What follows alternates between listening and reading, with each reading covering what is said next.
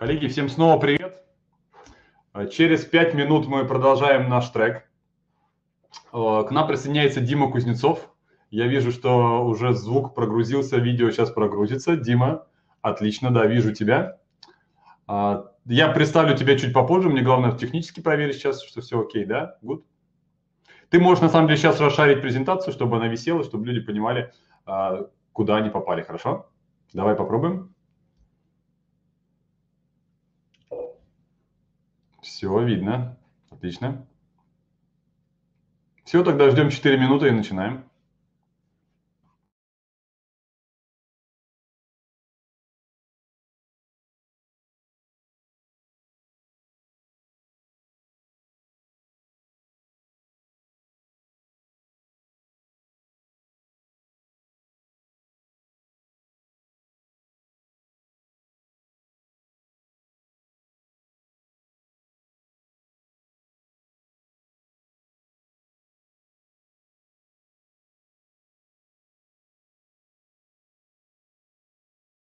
Дима, распахни, пожалуйста, на все а, окно, если не сложно. Ага, спасибо, прогрузилось.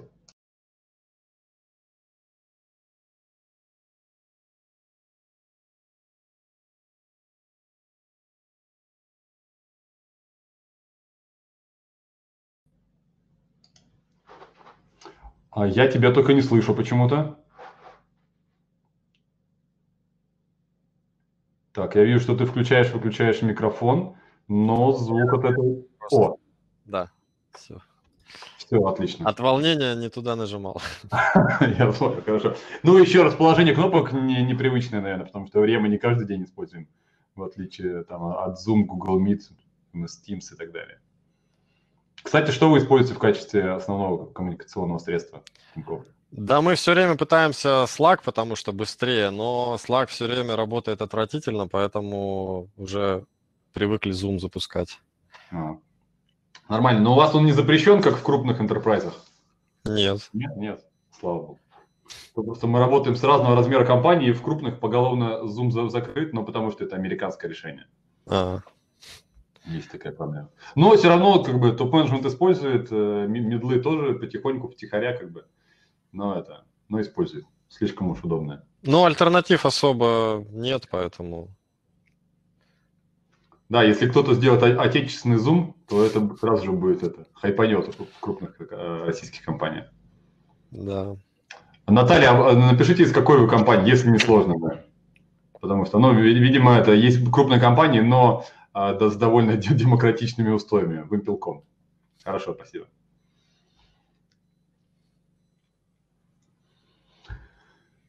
Good. Хорошо, минутку и начинаем.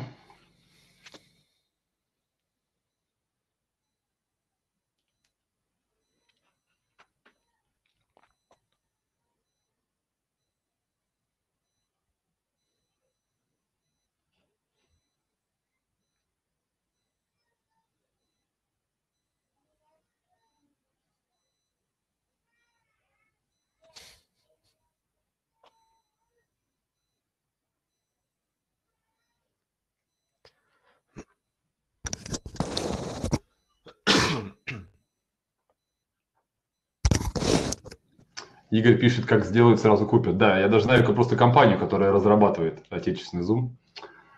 А, вот не буду называть, называть имя, я думаю, что они рано, рано или поздно заявят о себе. Окей, а, так, на моих часах 12.30, 12.30. Дима, у тебя, я надеюсь, тоже. Да. Представляю вам Диму Кузнецова. Дима является фронтенд-архитектором в компании Тиньков. Вот. А, если вкратце, то Дима успел поработать в таких именитых компаниях, как Дубльгиз, а, в Яндексе и сейчас трудится в, в крупной, я думаю, что всем известном компании Тиньков. А, что интересного про доклад? Э, Дима расскажет, как ребята делают редизайн 10 приложений за одну минуту. Как множество фронтенд разработчиков трудится эффективно, дружно и в едином, я так понимаю, фреймворке, если можно так сказать. Дим, Подхватывай, пожалуйста, микрофон. Да, спасибо. Э, Так, еще раз, меня зовут Дима, я работаю в Тинькофф, я фронтендер, хотя на самом деле я уже хочу представляться, наверное, скорее как микрофронтендер, потому что микрофронтендами я занимаюсь уже почти три года. И сегодня я расскажу про наш опыт использования в контексте именно а, роста команды, которая изначально была из трех человек, а сейчас у нас примерно 60.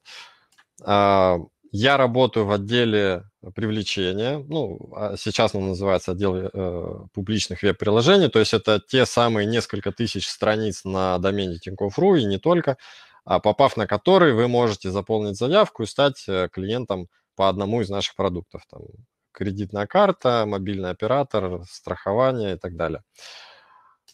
И мой доклад будет состоять из трех частей, из них две вводных и одна основная про в основной части я попытаюсь ответить на вопрос, почему а, микрофронтенды стали у нас столь успешными, и отдельно поговорим про критерии, почему я считаю, что они успешны. А первые две а, – это про, первая часть про другие инструменты, которые мы так или иначе использовали для попытки масштабировать разработку, а вторая, собственно, вкратце совсем, что такое микрофронтенды, чтобы мы были в одном контексте. Итак, поговорим про другие подходы инструменты для масштабирования. Ну, первый – это монорепа, и главное преимущество здесь то, что она у вас всегда есть, то есть не надо ничего делать специально, чтобы она вдруг появилась. И на самом деле у монорепы много преимуществ, а это и консистентность, и возможность контрибьютинга по месту. А, но если не настраивать процессы и инструменты, естественно, в реальности все может быть плохо а уже при работе трех команд в одном репозитории. Ну вот, э, в частности, а, появляется проблема того, что команды начинают править общий код под свои частные нужды. Это рождает неожиданные изменения, как следствие баги. А, появляется такое э, явление, как вендоринг, когда команды начинают копипастить себе какие-то библиотеки.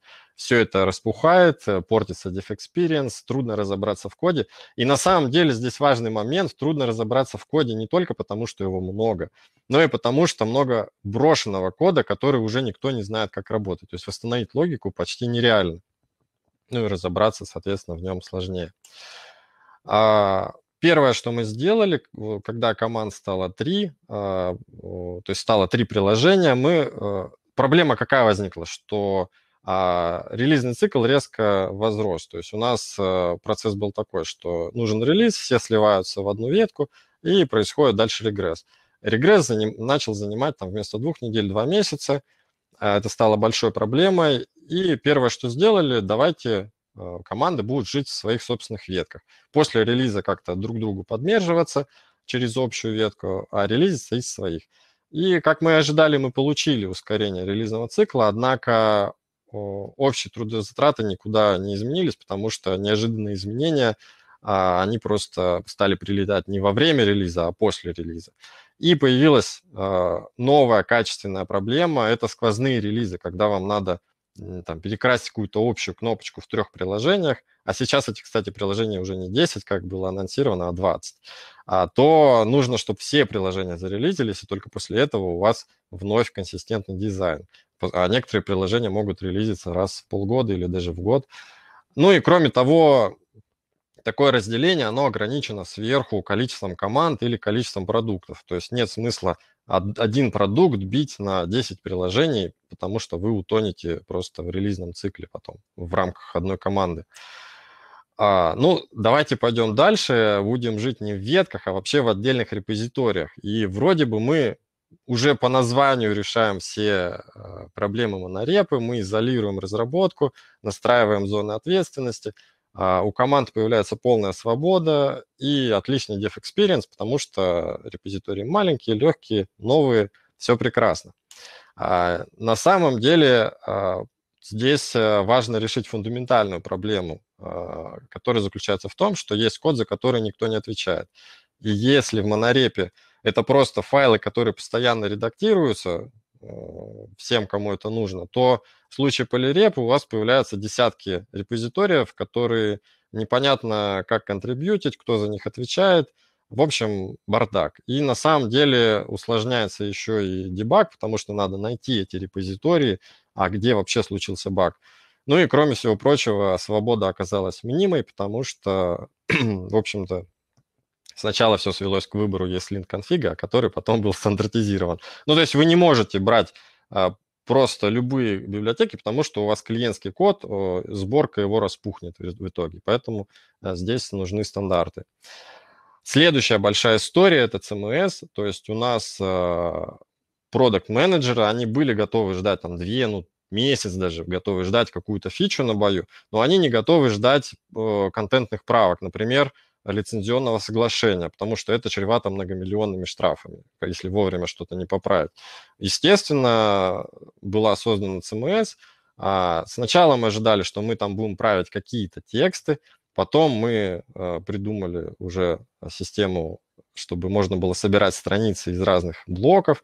Дальше мы начали прокачивать это все а чтобы еще и форму можно было э, конфигурировать, там количество инпутов, э, раскладку по шагам, а в конце концов мы туда начали запиливать логику, то есть э, пишешь на псевдоязыке э, логику, э, компилятором превращаешь ее в JSON, и этот JSON через контентную систему релизишь в обход тестирования.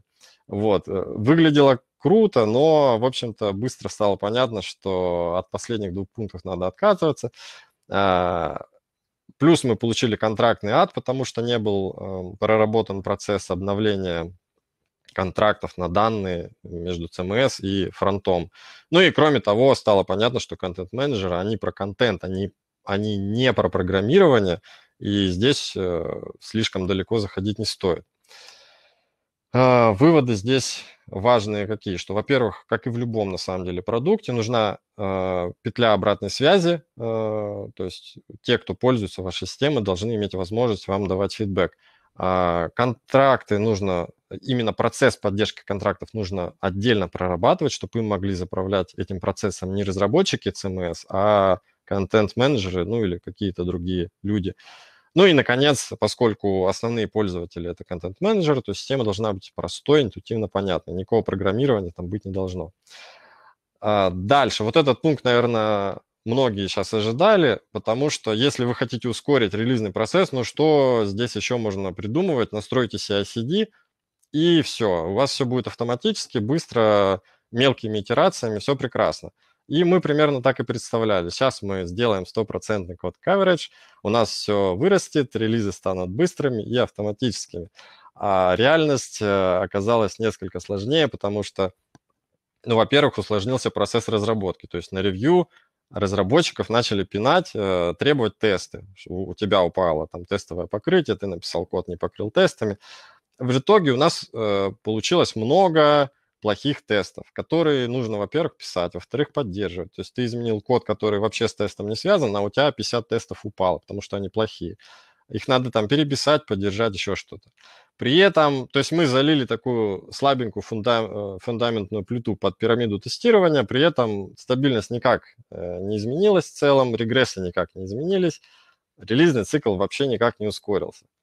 А, какие здесь выводы мы сделали? Ну, во-первых, э, с точки зрения ускорения релизного цикла в пирамиде тестирования важнее все-таки вершина, а не, а ее основание. А при этом CI-CD требует больших инвестиций и в инфраструктуру, и в а, то, чтобы научить разработчиков писать тесты, а, и, в принципе, процесс а, там, написания тест-кейсов и так далее. А, нужно по-другому писать код – и вообще самое главное здесь это то, что ускорение релизов возможно не сразу. То есть вам сначала нужно все это сделать, а потом вы получите эффект. А мы хотели эффект здесь и сейчас.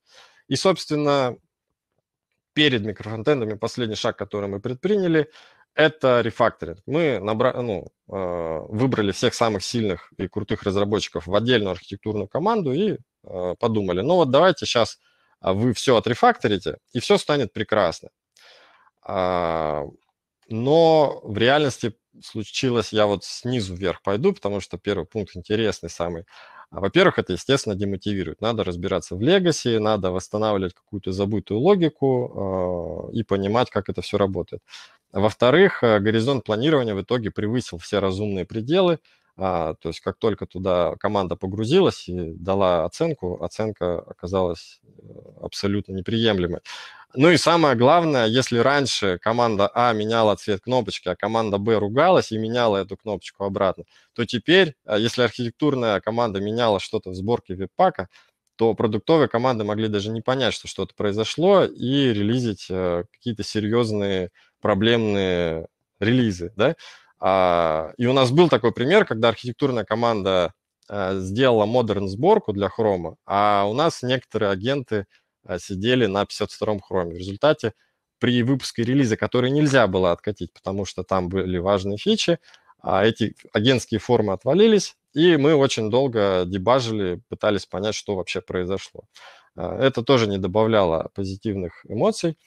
А, поэтому какие здесь выводы? Во-первых, рефакторить можно либо когда у вас есть тестовое покрытие, и вы получаете быструю обратную связь, либо если вы можете заморозить продуктовую ну, разработку. Ну и на самом деле рефакторить неэффективно, если у вас много брошенной логики. То есть если у вас большой legacy проект, и вы не знаете, там какая логика вообще есть, и как ее восстановить, то, возможно, стоит написать все с нуля. Микрофронтенды. А, давайте поговорим, что это такое, буквально там в трех или пяти слайдах, я уж не помню, сколько их там. Микрофронтенды – это архитектурный подход, который наследуется от микросервисной архитектуры э, в применении к фронтенду. То есть это какие-то отдельные части страницы, которые имеют собственный релизный цикл, но при этом они могут общаться между собой и с приложением.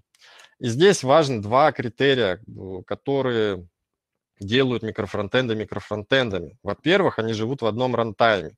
То есть, э, если у вас э, на разных роутах разные приложения висят, то это не микрофронтенды, это просто два разных приложения. А, и они должны иметь независимые релизные циклы. То есть NPM-пакеты, например, это тоже не микрофронтенды, потому что, несмотря на то, что они публикуются по-своему, но их потом надо затянуть в приложение, собрать и целиком потом вместе с приложением выложить. И в этом смысле это не микрофронтенды. А, при этом, а что вообще является микрофронтендами? Ну, первое, что приходит в голову, это такой аналог сортировки пузырьком, который никто не пользуется, но это прекрасная демонстрация. Вот здесь то же самое. И фрейм – это, в принципе, микрофронтенд, потому что а, можно релизить а, независимо, они находятся в одном рантайме, при этом Э, из плюсов полная изоляция, однако дальше сплошные минусы. Нет сервиса рендеринга, большой оверхед на загрузку и так далее. А, можно построить на микросервисах, то есть у вас есть некая прокси, которая ходит в разные э, а, инстансы, все это агрегирует э, в одну страницу и выплевывает. Ну и, наконец, третий путь, который мы пошли, это микромодули мы их назвали. То есть это статические веб-пак сборки, js э, которые лежат на CDN, и в рантайме они загружаются и исполняются. При этом микромодуль, ну или микроблок, это React-компонент в нашем случае, который вот веб-паком собран в три файлика и лежит на CDN.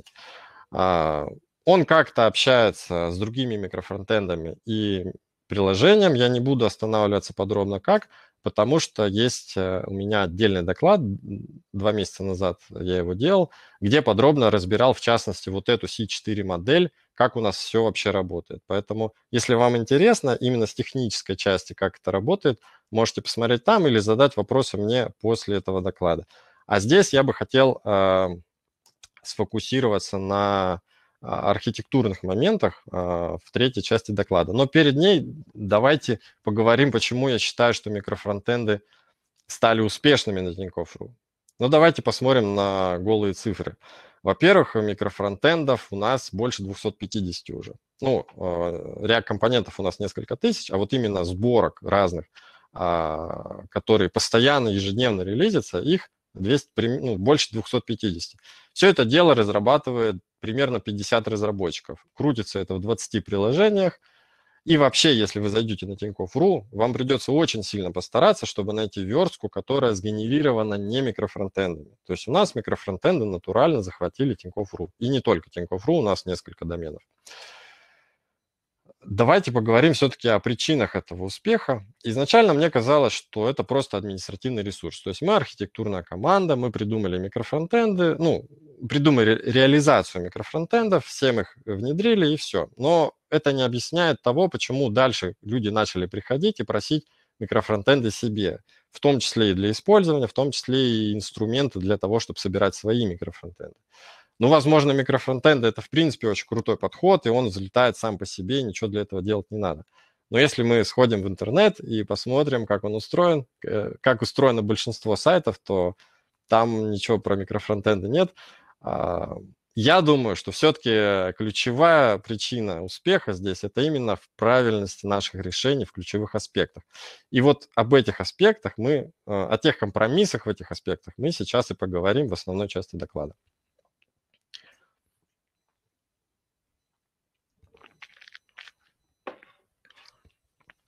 Итак, а, будет семь аспектов, и первый, самый большой аспект – это связанность. И тут начинается сразу интересные метаморфозы, потому что в английском языке есть два слова, которые на русский переводятся как связанность. Это кауплинг и кахэшн. Извините за произношение. А, кауплинг – это больше про негативную коннотацию. Это когда у вас есть две системы, которые между, сами по себе работают прекрасно, но иногда им надо между собой как-то взаимодействовать. Не хотелось бы, но приходится. А, надо что-то с этим делать. А кахэшен – это когда вы собираете систему из элементов, и вам эти элементы нужно плотно между собой э, уложить, а, чтобы они были сплоченными. Чем они сплоченнее, тем целостнее система. Ну, например, если два человека работают и иногда друг с другом общаются по каким-то вопросам, это кауплинг. А если у вас футбольная команда, которая системообразующая связь которой в том, чтобы люди бегали и друг другу пасы отдавали – то это кахэшен. И здесь чем больше они общаются, тем лучше. Ну и, собственно, вопрос, а микрофронтенды на странице это про а, кауплинг или про кахэшен? Ну, давайте начнем а, с, кауп, э, с со сплоченности. И здесь, на самом деле, при таком подходе у нас сразу огромный жирный плюс. Это свобода нарезки. То есть вы а, можете вообще вот так по диагонали а, распилить страницу, и, в принципе, у вас будет два микрофронтенда, и они будут работать. Но а, у них будет очень жирный контракт. Его нужно будет, во-первых, описать, во-вторых, а, сделать процесс поддержки а, этого контракта. Вообще, на самом деле, про контракты часто забывают, а про процесс поддержки контрактов вообще никто не помнит. И это печально, потому что если у вас есть контракт, он у вас 100% а, когда-нибудь будет меняться, и, и про это важно помнить. А, дальше появляется связанность релизов. Собственно, самая а, печальная вещь – то, что а, связанность определяется вот этим неравенством. То есть э, окно, временное окно независимых релизов, оно ограничено сверху окном изменения контракта. То есть если у вас контракт меняется раз в неделю, то независимые релизы у вас в рамках этой недели. Если у вас приложение устарело больше, чем на неделю, или там какой-то микрофронтенд, все, у вас появляется связь, и с этим надо что-то делать. И первый наш самый микрофронтенд – это борт, это вот эта штука слева. А, она была именно сильно связана с, со сторами приложения. И в итоге, когда появлялся новый какой-нибудь вклад, да, то сначала нужно было прорелизить все приложения, чтобы этот вклад в сторах появился, а потом уже релизить борт. Иначе вы получаете э, ситуацию, когда, ходя по разным страницам Tinkoff.ru, у вас вклад то есть, то он пропадает. Это не очень хорошо. А давайте другую крайность посмотрим, когда связи никаких нет. А, тогда и контракты не нужны, поддерживать их не нужно. А, никакой вообще взаимосвязи между релизами, потому что контракты никогда не меняются, потому что их нет. А, но при этом появляется... Самое главное, что здесь э, проблема какая возникает, это ломается сквозная бизнес-логика. Ну, например, у нас есть логика, согласно которой в любое текстовое поле можно вставить текущий регион, который будет ссылочкой. И если кликаешь на эту ссылочку, появляется попап, и можно поменять регион. И этот регион должен измениться во всех таких текстовых полях на странице, ну и на следующих страницах в том числе. То есть такая логика отваливается. Ну, много другой подобной логики. И как результат э, этого недостатка мы можем взять только самые простые э, тупые компоненты. А их не так много, они меняются редко, и, в общем-то, городить э, вокруг них микрофронтенды э, смысла большого нет. И здесь, перед тем, как мы перейдем к компромиссу в этом аспекте, хочется пару слайдов поговорить вообще про связи. Кто за них отвечает? Вот представим, у нас есть две системы. это очень абстрактный слайд, то есть это может быть фронтенд, бэкенд, а, там, component store, или это может быть, например, полиция и скорая помощь. Вот у вас грабитель бежит, он сломал ногу, открытый перелом, и он сейчас истечет кровью. При этом он с пистолетом а, отстреливается. И вот э, если полиция прекрасно работает и врачи тоже прекрасно работают, если они не договорятся, то либо грабитель перестреляет всех врачей, либо он умрет от истечения крови и сажать будет некого. Поэтому кто-то должен придумать, как они а, друг с другом должны взаимодействовать. Но, как правило, никто это не придумывает заранее, это просто на здравом смысле там как-то пообщались и все решили. И это не очень хорошо, что не помнят люди про вот эти связи, никто их заранее не прорабатывает. Кто же их должен прорабатывать? Может быть, э, скажем, что обе команды ответственны за эту связь, и обе а, должны ее прорабатывать.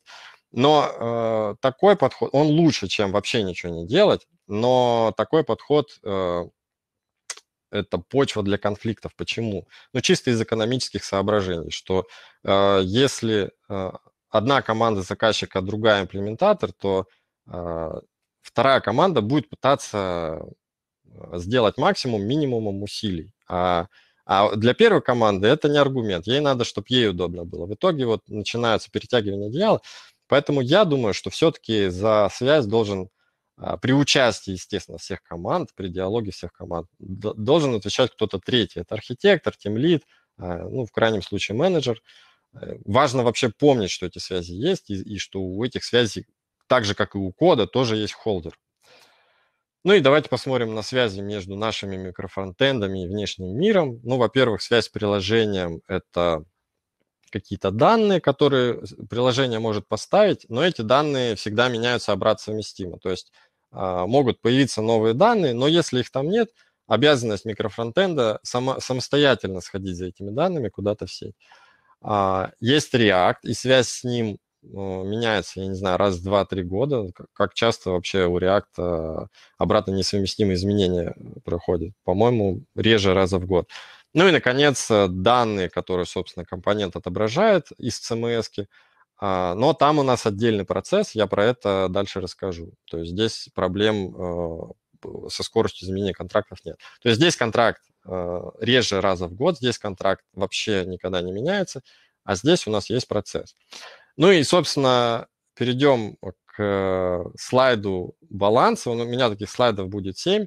А, и вот в аспекте Э, связей а, у нас есть две крайности. С одной стороны, мы э, получаем сильную связанность, но свободу нарезки, а с другой стороны, у нас стабильность контрактов, при этом мы сильно ограничены в выборе того, что мы можем напилить на микрофронтенды. И здесь у нас ключевым аспектом для баланса является время обновления самого медленного приложения. У нас оно составляет примерно полгода. То есть мы можем напилить, а, пилить наши страницы таким образом, чтобы контракты между а, ними и микрофронтендами и приложениями менялись реже, чем а, раз в полгода. Ну, например, раз в год. Окей, это был самый долгий аспект, дальше пойдем быстрее. Второй аспект э, – зависимости. А, наши микрофронтенды от чего-то зависят, от каких-то NPM-пакетов. И здесь есть, опять же, две крайности. С одной стороны, мы можем все собирать внутрь, и тогда мы получаем абсолютно воспроизводимые сборки, которые удобно тестировать. А, можно вообще на разных фреймворках даже делать эти компоненты. Но при этом, во-первых, появляется дублирование зависимости, то есть пухнет э, трафик клиентский. Ну а второй вопрос, а как быть с синглтонами? Ну то есть React на странице, например, должен быть один, а если их 10, то кто должен что нарисовать? Другая крайность – это вообще не включать в сборку зависимости. Сделать какой-нибудь там dependency inversion, там, runtime package management, что-то вроде того. Мы полностью оптимизируем трафик, однако правда в том, что в NPM примерно никто э, не соблюдает SEMVer. Ну, причина у этого есть. Во-первых, э, фронтенд – это в принципе область, которая важнее быстрое развитие, чем обратная совместимость. Во-вторых, нет статической типизации. Но, наверное, другие какие-то причины есть, но по факту семвер э, очень часто нарушается, поэтому просто по версиям здесь э, не хватит. И в итоге у нас складывается ситуация, когда релиз какой-то одной библиотеки может просто уронить там половину микрофронтендов. Вот, какой здесь баланс мы нашли? Мы э, все-таки почти все собираем внутрь, однако то, что мы собираем, у нас есть э, список разрешенных библиотек. Эти библиотеки маленькие, проверенные, а, а наружу мы вынесли React и React DOM. Э, здесь мы считаем, что эти библиотеки, ну, во-первых, они большие и должны быть синглтонами, во-вторых, а, меняются они редко а, и достаточно стабильные. Мы считаем, что они Симверу подчиняются. Такой баланс нам дал плюс э, примерно 3% JS-трафика. И то есть мы, с одной стороны, получили плюс 3%, но при этом мы получили полностью воспроизводимые сборки. А, и то есть выбирая между воспроизводимостью и оптимизацией трафика, воспроизводимостью сборок микрофронтендов и оптимизацией трафика, который а, тратит а, пользователь, чтобы скачать себе эти микрофронтенды, у нас получился вот такой баланс, что да, мы на 3% увеличили, но при этом у нас все равно почти все полностью воспроизводимая сборка, только React снаружи. Третий аспект – это поддержка контрактов. А, здесь речь о том, что а, а, от данных, которые поставляет CMS. То есть э, у этих данных есть формат, он постоянно почему-то меняется, ну, по разным причинам имеется в виду. И дальше возникает вопрос, как должен с этим жить э, фронтенд, вот эти компоненты. Здесь э, давайте опять две крайности рассмотрим. Первое, то, с чего мы начали еще до микрофронтендов, это э, фронт должен поддерживать все контракты. Тогда у нас нет какой-то связи между релизами данных в CMS и релизами реализации на фронте. Нам э, не нужно обновлять данные, потому что и новые, и старые данные фронт отобразит. При этом у нас на фронте контрактный ад, у нас фронт пухнет, и самое главное здесь перерасход ресурса тестирования, потому что тестировать надо все форматы данных. И это очень неудобно. С другой стороны, если мы сделаем только поддержку ровно одного контракта, мы полностью оптимизируем фронт, однако придется проводить релизный э, цикл, цикл разработки на каждое изменение контракта. А у нас таких изменений довольно много, но вот в частности в валидациях полей. То есть валидация, по идее, она относится к контракту, да, то есть вот, допустим, а, какой-нибудь title в компоненте, вот он ограничен 60 символами. И теперь приходит менеджер, говорит, хочу 72 символа. Вот он меняет, получилось, он изменил контракт, и нужен э, цикл разработки. Это неудобно.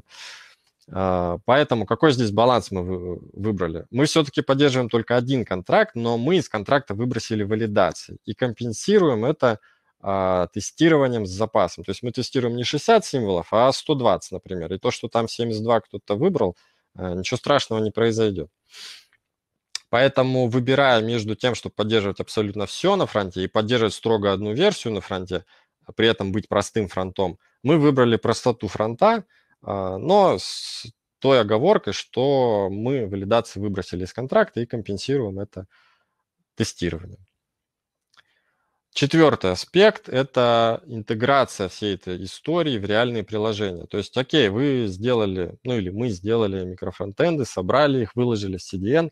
Как теперь оно будет в рантайме работать? Первый подход а, – это сделать прокси какой-то инстанс, который будет входить в старое приложение, будет входить а, в микрофронтенды, все это агрегировать и отдавать а, пользователю.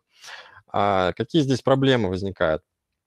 Ну, нет, сначала какие плюсы, да? Проще обновлять э, инфраструктуру, потому что у вас один прокси-инстанс, он а, там работает с какими-то форматами, их легко изменить в одном месте. А, но усложняется сетевая топология, то есть у нас дополнительная точка отказа, у нас overhead на сетевые запросы. И самое главное, это сложнее тестировать. То есть одно дело, когда тестировщик пошел в Storybook и там что-то потыкал. А другое дело, когда ему надо мини-куб или Kubernetes локально разворачивать, чтобы это все сделать. Хотя изначально мы смотрели в эту сторону, потому что у нас много приложений, часть из них legacy, не хотелось в них лезть, хотелось их оставить, как они есть. А второй подход – это что мы все внутрь приложения засовываем, то есть у нас появляется некая сущность loader, которая сама ходит в CDN, а, и отдает э, приложению конкретные React-компоненты. Ну, здесь, естественно, проблема в том, что это надо все проинтегрировать во все приложения, да. А какой здесь баланс мы нашли? А, мы все-таки этим путем пошли, но мы сэкономили на интеграции, потому что все наши приложения построены на типовом нашем самописном фреймворке, и мы туда все интегрировали, а поэтому в приложениях это появилось просто обновлением фреймворка. Ну а что касается простоты э, обновления всей этой, э, ну, всех этих форматов, э, лодера и так далее, то он изменился всего лишь один раз за два года, и с учетом того окна в полгода обновления самого медленного приложения у нас проблем не возникло с его обновлением постепенным. В итоге, выбирая между, э, чтобы оставить приложение как есть и ничего в него не интегрировать, мы все-таки выбрали другую крайность, а, интегрировали, но при этом упростили себе жизнь тем, что у нас а, приложения похожи, и они базируются на одном фреймворке. Пятый аспект – автоматизация тестирования. Здесь на самом деле должен был быть слайд про ручное тестирование, крайность, да, а, но я думаю, что для кого уже не секрет, что если вы хотите, чтобы ваш код существовал во времени, то вам необходимо его защищать тестами, иначе он долго не проживет, он умрет. А поэтому сразу перейдем к другой э, крайности. Это все автоматизируем тотально. То есть пытаемся полностью отказаться от ручного тестирования. Но э, здесь, э, во-первых, э, дорого писать тесты под все кейсы. То есть всякие анимации, драг-н-дропы. Э, это все непросто. Э, с учетом того, что, что тесты end-to-end особенно, они нестабильны, это все надо поддерживать нужно много раннеров, чтобы это все запускать, то есть под каждый браузер, каждую платформу, еще и там можно под каждую версию браузера, да. А, то есть долго писать, долго запускать, э, сложно поддерживать. В итоге, какой здесь у нас баланс? Мы э, пишем макированные тесты только и гоняем их только на Puppeteer одной версии мы при этом полагаемся на контракты, то есть у нас есть внешние системы, мы э, по каждой такой системе просим предоставить публичный контракт и считаем, что система его соблюдает. При этом это на самом деле не во всех системах просто было получить, но это важный момент вообще понимания, что у вас есть контракт, и дальше этот контракт является водоразделом для определения ответственности, кто виноват в том или ином инциденте. То есть если раньше все были виноваты, то теперь э, очень легко понять, кто нарушил контракт. При этом мы оставили этап ручного тестирования, который там занимает 1-2 часа, и вот этим этапом мы закрыли все эти сложные кейсы, кросс-браузерность, там еще какие-то штуки. У нас при этом очень много всяких тестов, скриншотные тесты, контрактные тесты. Э, при этом при всем наш пайплайн проходит примерно за 20 секунд. И это, о, простите, это я выдаю желаемое действительно за 20 минут. Но все равно это прекрасный результат. То есть после пуша можно через 20 минут уже попасть в бой, ну, в мастер, там, в бой еще один пайплайн понадобится. То есть, выбирая между полностью ручным тестированием и полной автоматизацией, мы, естественно, шли в сторону и продолжаем идти в сторону полной автоматизации.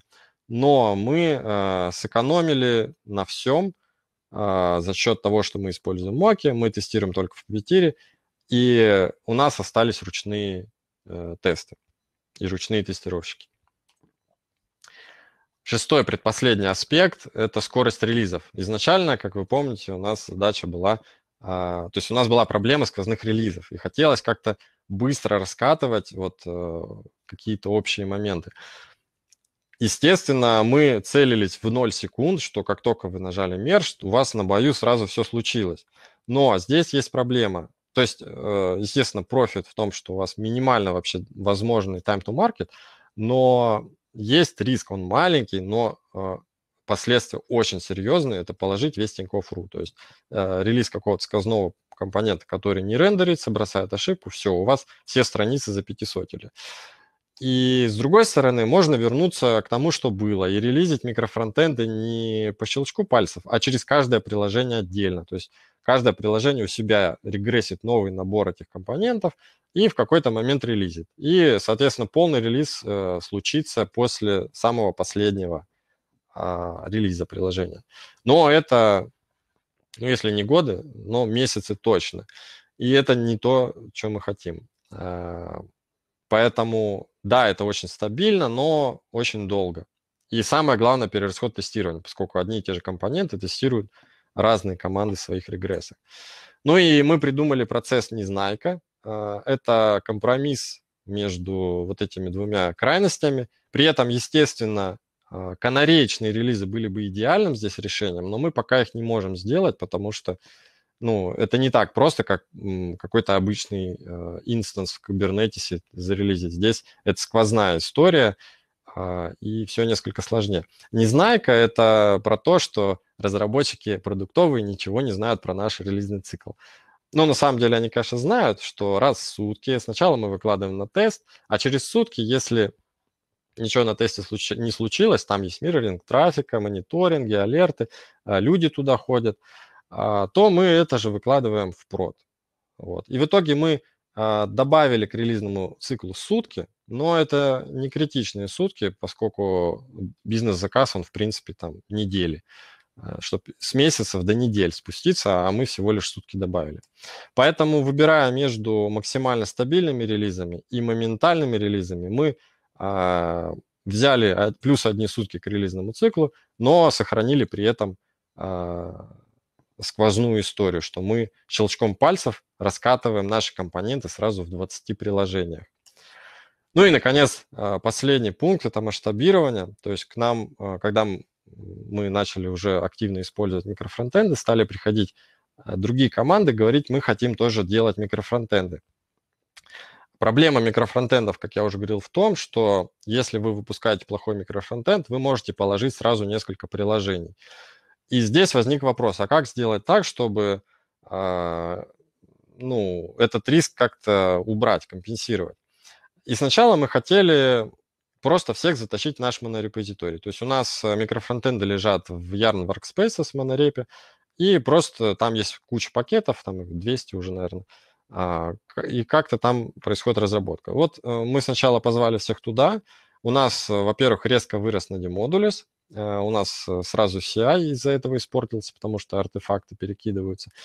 И часть сторонних команд от нас сразу ушли, потому что очень серьезный этап ревью, куча всего требуется, тесты, всякие сторисы специальные, документация даже. Поэтому для многих это не подошло. С другой стороны, можно было бы выбрать полирепу, то есть э, все как хотят, так и делают, где хотят.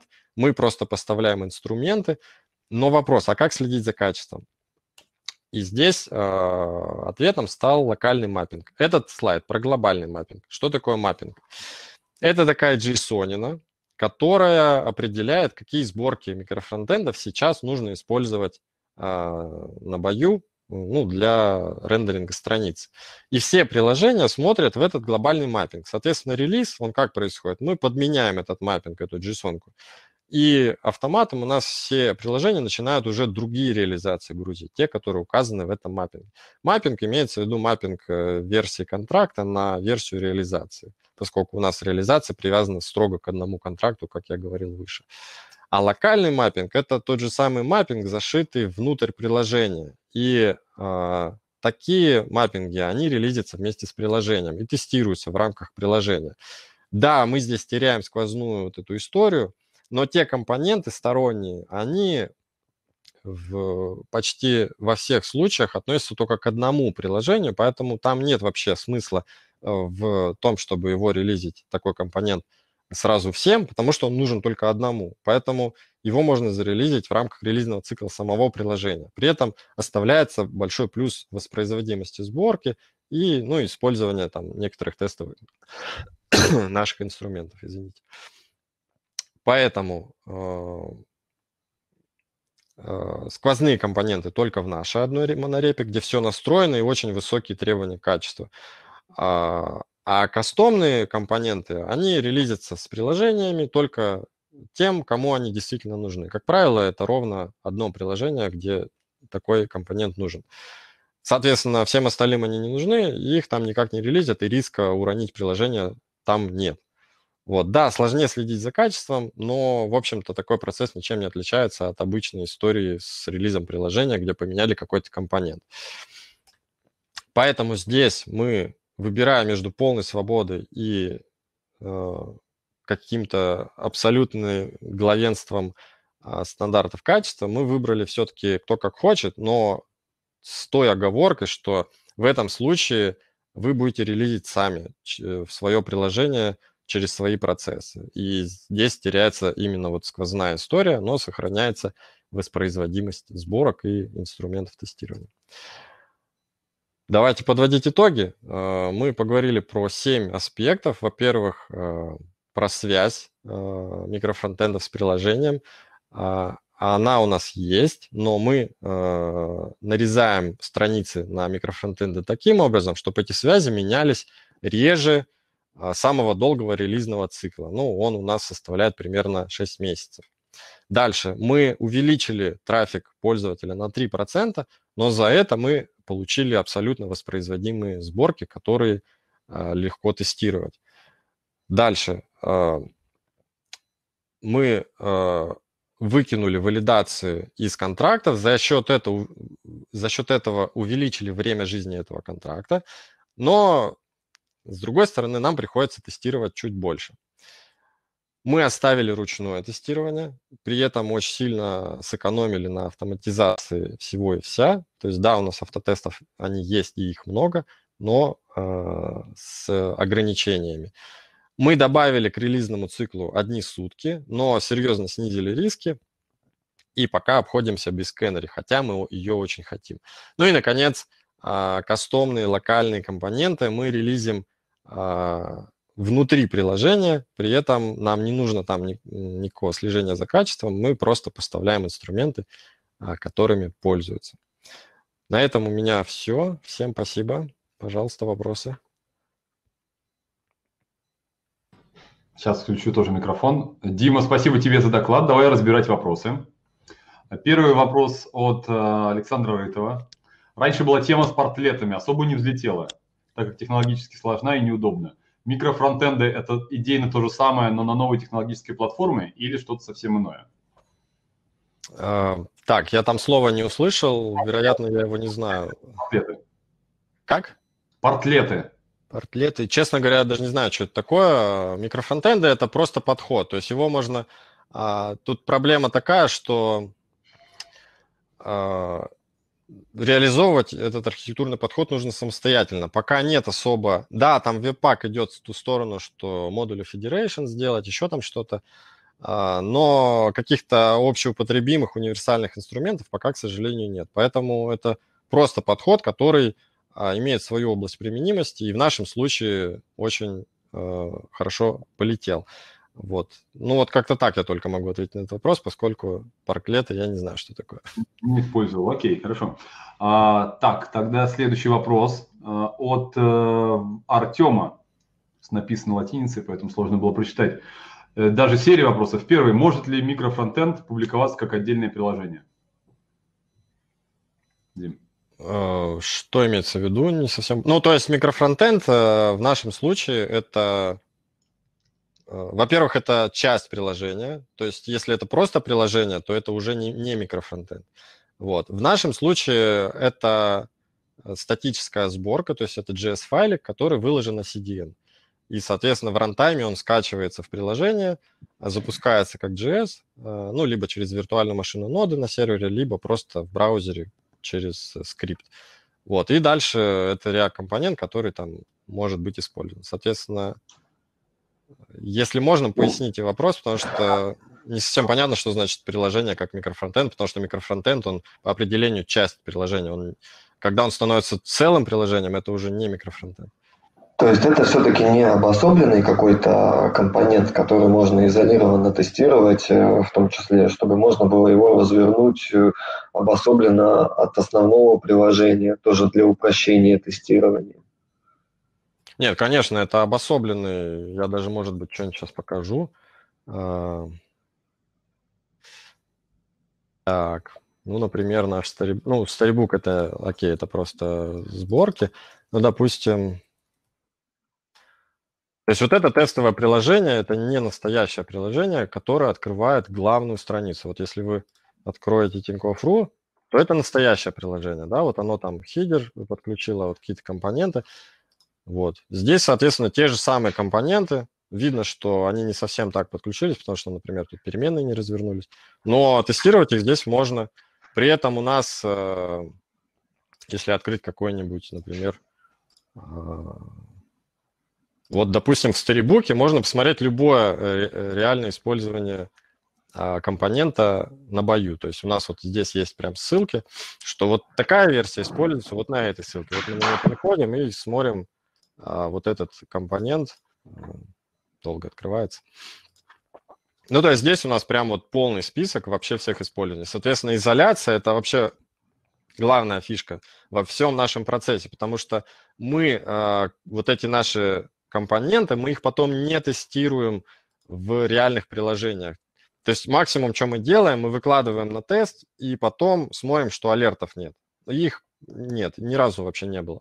А все тестирование, оно до мастера происходит. Вот в сторибуке и в тестовом приложении. То есть в Storybook можно посмотреть какие-то edge кейсы, да, вот тут э, видно, что всякие там пустые строчки, длинные строчки, там еще что-то, всякие разные комбинации пропсов.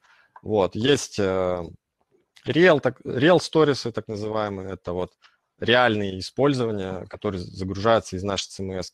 Есть еще там какие-то всякие тестовые штуки, фичи, которые тоже можно потыкать. Вот, поэтому все тестирование, 99% тестирования и 9 десятых, оно именно изолированное. Угу. Артем, а, ты сейчас можешь выйти в эфир, потому что у тебя еще есть один вопрос. А, если хочешь, задай его голосом. Да, спасибо, полностью ответил на мой вопрос. А, второй вопрос, он, по сути, немножко касается первого вопроса, то есть насколько сложно и какие критерии должны быть соблюдены для того, чтобы произвольный микрофронт, какой-то микрокомпонент, а, имплементировать в другое приложение. То есть он изначально писался какой-то, вот, как ты говорил, а, кастомный фронт, кастомный компонент, который использовался только в одном приложении, и потом э, в связи с бизнес-процессами его надо переиспользовать в других приложениях. Какие критерии должны быть соблюдены и, собственно, какие косты на это? А, критерий ровно один, что э, контракт на этот компонент с внешним миром, он должен меняться реже, чем раз в полгода. Ну, обратно несовместимо. Соответственно, все, что ну, за исключением данных из CMS, поскольку у нас там отдельный процесс, и там можно менять хоть каждый день. Вот если контракт именно с приложением и с другими микрофронтендами, а, он есть и он меняется реже раза в полгода, то мы можем эту сущность выделить легко и просто микрофронтенда. Если чаще, тогда а, тут вопрос, потому что сразу возникает связь между релизами, то есть, чтобы зарелизить э, этот микрофронтенд, нужно порелизить еще какие-то приложения. На самом деле, вот эти полгода это немножко, конечно, уже устаревшая цифра, а мы ее сокращаем активно, то есть у нас сейчас в среднем приложение релизится там раз в неделю и даже чаще, но начальное условие было именно такое, что раз в полгода, э, соответственно, мы этим ограничены. Артем, да, надеюсь, оба вопроса закрыли достаточно. А, давайте двигаться дальше. А, от меня вопрос на правах ведущего. Были ли у вас случаи, когда вы сильно э, деградировали какую-то часть функционала из-за того, что какой-то кривой микрофронтенд ушел? Хороший, хороший вопрос, спасибо. Сейчас, э, в общем, у нас э, есть открытый список постмортемов, э, инцидентов. Туда записывается вообще все на свете. Там их сейчас, наверное, четыре десятка за три года. И mm-hmm. самые два вот сейчас инцидента я скажу, а ты оценишь, э, они как сильно нам деградировали или нет. Yeah. Один инцидент, что в одном каком-то блоке, э, ну сейчас я, наверное, не успею его найти, но там, в общем, список был, и там буллеты, вот тут тире, да, а там кружочек такой оранжевый. И вот они после релиза исчезли. Вот, это первый инцидент. А второй инцидент – а, был блок табов, но он где-то есть тоже. Ну, в общем, там, вот, грубо говоря, блок, да, и тут табики. Вот ты переключаешь, а тут разный контент появляется. И вот если, значит, э, переключить на такой таб, у которого э, высота больше, чем у первого таба, то нижняя верст, ну, следующий блок налазил, э, ну, грубо говоря, высота блока не менялась, там был, была проблема в расчете высоты. И верстка там, на некоторых табах, которые выше первого, а, она налазила на следующую а, верстку. Вот, соответственно, вот это два самых жестких инцидента. Все остальное более лайтово и в основном прода не касалось. Ну, а можно уточняющий вопрос? Про верстку-то понятно, если она поплыла, то пользователь справится. А вот если человек не может что-то выбрать в радиобаттоне, э, это про то или нет? Первый ну, таких, таких инцидентов нет. Э, там не радиобаттон, там просто статический список э, а, как бы с кружочком. Кружочек чисто декоративный, что это список. А, все, все, я понял, да, да, да. И вот он исчез. Да. Ну вот я спрашиваю, просто сам являюсь пользователем Тинькова и банка, и мобайла, и там страховку периодически беру. Мне кажется, честно, Тиньков уже знает про меня больше, чем моя, моя жена. Вот. Поэтому интересно просто, как у вас со стабильностью. Но я ни разу не видел просто, что вы лежали именно. Хорошо. Так, вопрос от, Саши. Переход по ссылке означает перерисовку всех микрофронтов? То есть, например, нажимаешь на карту, обновляются все микрофронты или только э, фронт, карты? Все, я понял. Э, тут э, возможно две ситуации. СПА-переход или полный переход. Если полный переход, естественно, все перезагрузится, ну, с поправкой на кэш браузера, что если какие-то микрофронты загрузились уже то они могут быть взяты из кэша. Но это чисто браузерный как бы кэш. Если это SPA-переход, тогда он просто-напросто посмотрит э, при рендеринге новой страницы, он посмотрит вот сюда э, и попытается взять отсюда микрофронтенды. Вот они все. Если там каких-то будет не хватать, он просто закинет э, загрузку недостающих и их догрузит. Угу.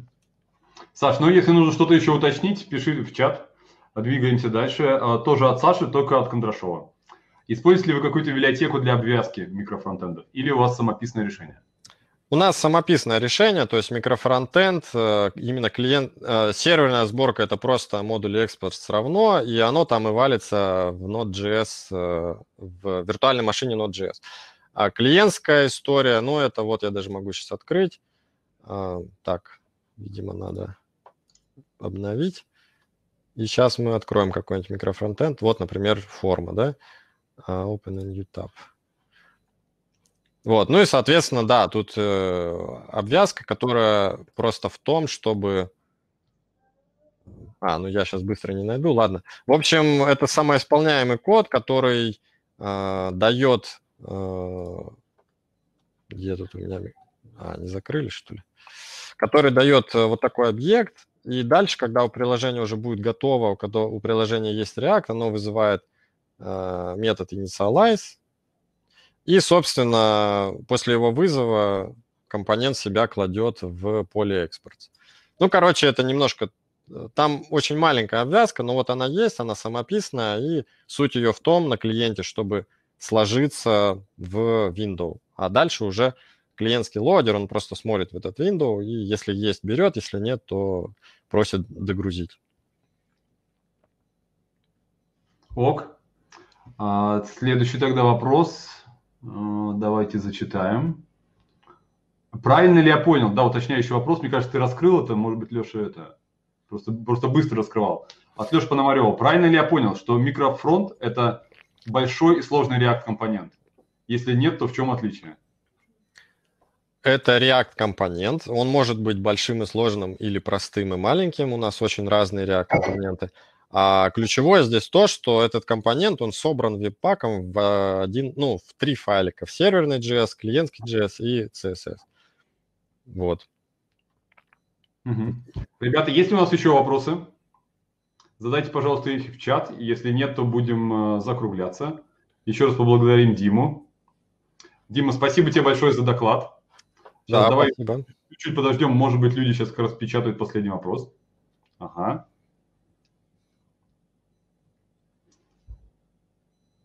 Отлично. Что у нас ждет дальше, ребята? В 13.30 а, у нас будет доклад Андрея Цветцих из компании EPAM про Clean Architecture. Вот, приходите, если эта штука вам интересна. Сейчас, э, если у вас остались вопросы к Диме, вы можете его найти а, в шестом этаже фойе. То есть сначала переходите в фойе, и дальше переходите на шестой этаж. Вот такая логика. Дима, тебе еще раз большое спасибо. Давай увидимся. Спасибо за доклад. Все, всем пока.